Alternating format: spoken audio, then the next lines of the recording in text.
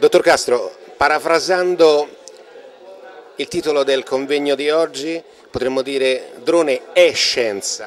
Sì, eh, la scienza ha scoperto i droni e neanche da poco tempo. Moltissimi istituti di ricerca nazionali, università hanno iniziato a utilizzare queste piattaforme volanti per le loro attività scientifiche.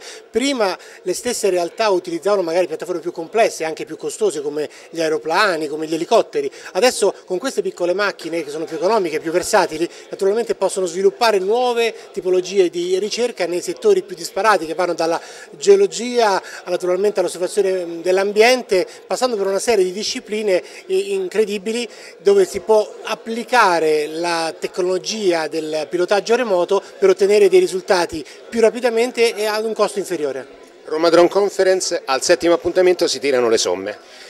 Abbiamo iniziato nell'ottobre del 2014 con la prima conferenza, terminiamo nel, nell'aprile del 2015 con la settima conferenza.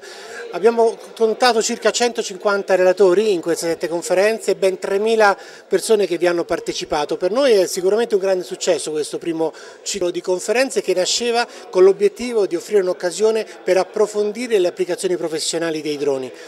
E visto il successo abbiamo deciso di tornare con il secondo ciclo di conferenze nell'anno 2015-2016, nella stagione prossima, inizieremo in autunno per andare avanti nei mesi successivi tornando ad approfondire quelle applicazioni che sembrano promettere maggiori utilità dal punto di vista dell'impiego e anche dal punto di vista del business bel mezzo c'è un appuntamento 29, 30 e 31 maggio all'aeroporto dell'Urbe. È l'appuntamento. Roma Drone Expo Show seconda edizione, il grande salone aeronautico nazionale sui droni, la più grande manifestazione dedicata ai droni che sia stata mai organizzata in Italia e anche in Europa. Avremo stand espositivi in cui le aziende, gli istituti di ricerca, gli enti pubblici potranno esporre le proprie attività nel settore dei droni.